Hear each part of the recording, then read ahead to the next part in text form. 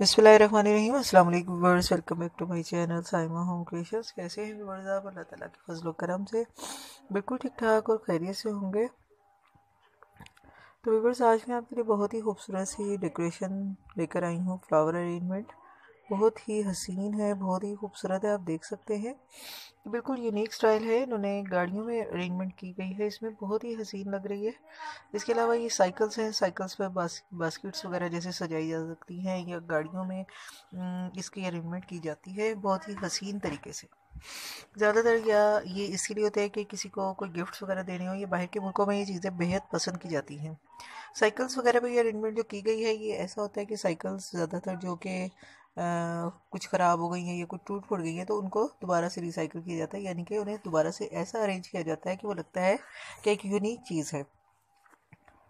तो इस वीडियो से हमें जो है बहुत सारे खूबसूरत आइडियाज़ मिलेंगे यकीन हमें भी मिलेंगे और आप लोगों को भी बहुत मिलेंगे इन ताला।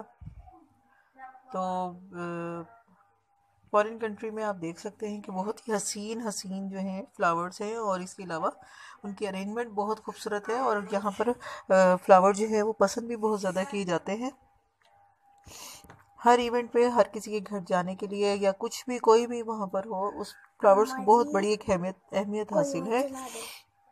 अच्छा जानकारी देख सकते हैं ये साइकिल पे कितनी हसीन अरेंजमेंट की गई है।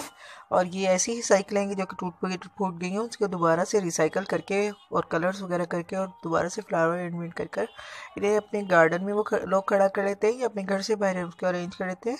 और इसके अलावा देखिए दीवार पर भी स्केच बनाया गया है और उसके ये ऊपर फ्लावर अरेंजमेंट की गई है। बहुत ही खूबसूरत और यूनिक आइडियाज़ हैं ये, जिससे जो है घर में एक नई खूबसूरती आ जाती है। बहुत खूबसूरत लगती है ये चीज़ें।